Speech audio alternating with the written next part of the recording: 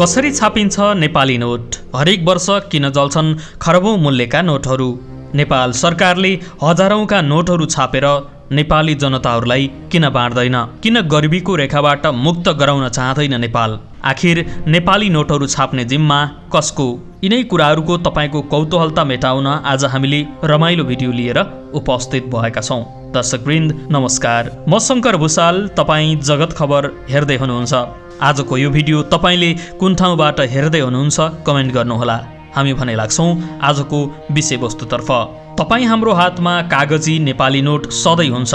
चाहे त्यो धेरै होस् या थोरै। नोटकै लागि हामी सारा जीवनलाई एकातिर थन्क्याएर मरि मिटेर काम गर्छौँ। खुसी पनि नोटमै अनि दुःख पनि नोटमै देख्ने गर्छौँ। जीवनलाई नोटकै आधारमा तुलना पनि गर्छौँ। तर कहिल्यै सोच्नु भएको छ तपाईँको जीवनलाई नै तुलना गर्ने नोट कसले बनाउँछ?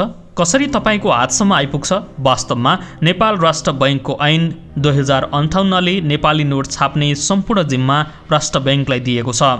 नोट छापिँदाको सम्पूर्ण प्रक्रिया केन्द्रीय बैङ्कले गर्दै आएको छ तर बैङ्कले नै नोट छपाईको काम किन गर्दैन त? नोट छाप्ने प्रिन्टिङ मेसिन सामान्य मेसिन जस्तै होला त। पक्कै पनि नोट छाप्न विशेष प्रकारको प्रिन्टिङ मेसिन चाहिन्छ। यो सबै देशमा हुँदैन। केही देशले मात्र यो मेसिन राखेका हुन्छन्। तपाईँले सुन्नुभएको छ होला सेक्युरिटी प्रिन्टिङ प्रेसको कुरा। यही प्रेस खरिदमा भएको भनिएको सत्तरी करोड रुपैयाँ कमिसन प्रकरणका कारण तत्कालीन सञ्चार मन्त्रीको पद गुमेको त पक्कै थाहा हुनुपर्छ तपाईँलाई। हो यही सेक्युरिटी प्रिन्टिङ प्रेसबाट नै नोटहरू छापिन्छ। नेपालमा मात्र नभएर विश्वमा नै नोटहरू यसै मेसिनबाट छाप्ने गरिन्छ। यसको सम्पूर्ण नियम र निर्देशन भने अन्तर्राष्ट्रिय मुद्रा कोषले गर्ने गर्दछ।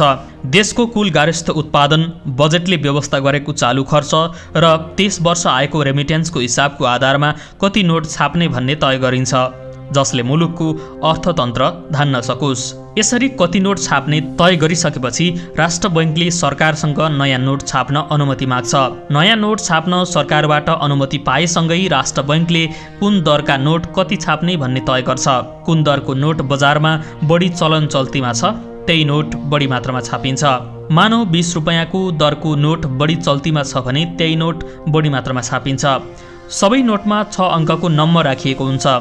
जस्तै देवनगरी लिपिको अको एकबाट छाप्न सुरु भएको नोट अको सयसम्म छापिन्छ। ती सबै नोटमा छ अङ्कको नम्बर पनि राखिएको हुन्छ। त्यसपछि फेरि आको एकबाट अरू नोटहरू छापिन्छ।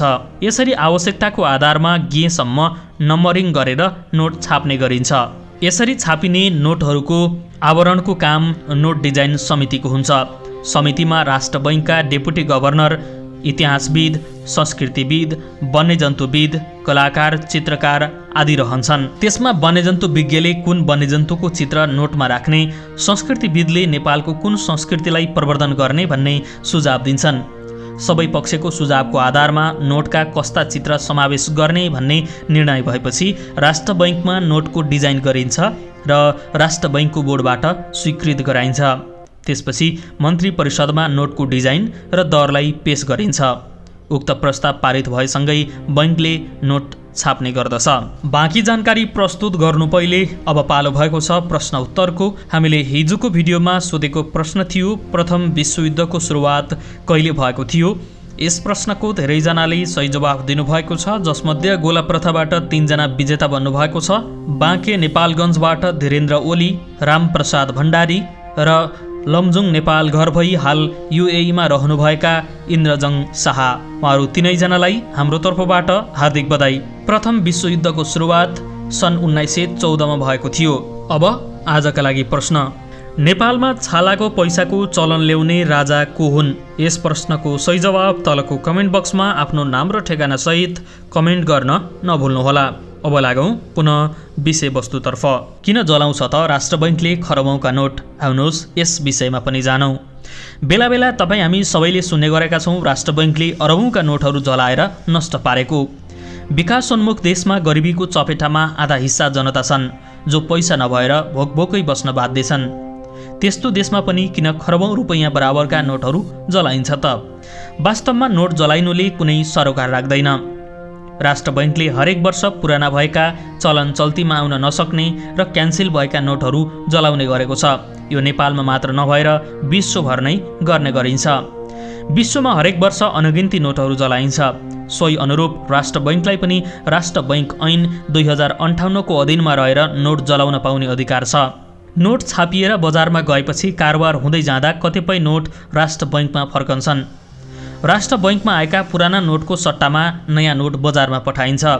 यसरी पठाएको नोटमा पुराना नोटहरूकै नम्बर हुने हुनाले ती फर्किएर आएका नोटहरूलाई बैङ्कले नष्ट गर्ने गर्छ। त्यसो त सर्वसाधारणको नोट भुलवश जलेमा पनि त्यसको क्षतिपूर्ति पनि बैङ्कले दिन्छ। यसमा भने क्षतिपूर्तिको रूपमा जलेको नोट बराबरको रकम भुक्तानी पाउनका लागि नोटको नम्बरसहित नोटको दुई तिहाई भाग हुनुपर्छ। नोटको आधा भाग मात्रै भयो भने त्यसको भुक्तानी हुँदैन किनकि आधा नोट एक ठाउँमा र आधा अर्को ठाउँमा पेस गरी दोहोरो भुक्तानी लिन सक्छन् भनेर। हामीले प्रयोग गर्ने कागजी नोट नेपालमा छाप्न सुरु गरेको धेरै भएको छैन। नेपालमा कागजी नोटको प्रचलन दुई हजार सत्र सालबाट आएको पाइन्छ। दुई हजार दुई सालमा नै यसको सुरुवात गरे पनि चलन चल्तीमा भने पन्ध्र वर्ष अगाडि मात्र आएको पाइन्छ। यो समयभन्दा अगाडि नेपाली नोटहरू छालाका बनाइन्थे। यद्यपि यस्ता नोटहरू कमैले मात्र प्रयोग गर्न पाए यो राजघराना र व्यापारी वर्गमा मात्र प्रयोग हुने गर्थ्यो। इतिहासलाई हेर्ने हो भने अहिलेसम्म नेपालमा एक सय चौन्न प्रकारका नोटहरू छापिएको पाइन्छ।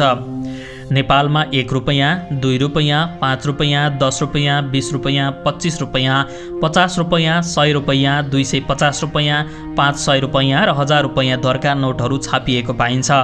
तर पछिल्लो समय एक र दुई रुपियाँका नोटहरू छाप्न छाडिएको छ भने पच्चिस र दुई सय पचास रुपियाँ दरका नोटहरू पनि छपाई हुँदैन। नेपालमा छापिएका नोटमा हस्ताक्षर गर्ने पहिलो व्यक्ति जनकराज हुन् जो विक्रमसम्म दुई हजार दुईमा तत्कालीन सदरमुलुकी खानाका प्रमुख खजान्ची थिए। नेपाल राष्ट्र बैङ्कले नोट छाप्न थालेपछि नोटमा हस्ताक्षर गर्ने पहिलो गभर्नर हिमालय शमशेर राणा हुन्। नेपाल राष्ट्र बैङ्कले नोट छाप्नुभन्दा अघि पैसालाई मोरु भन्ने गरिन्थ्यो। राष्ट्र बैङ्कले छाप्न थालेपछि भने रुपैयाँ भन्न थालिएको छ। दर्शकवृन्द आजलाई भिडियो यति नै। तपाईँलाई आजको भिडियो कस्तो लाग्यो कृपया प्रतिक्रिया दिनुहोला। आजको भिडियोबाट तपाईँहरू सम्पूर्णप्रति आभारी रहँदै म पनि बिदा हुन्छु। नमस्कार।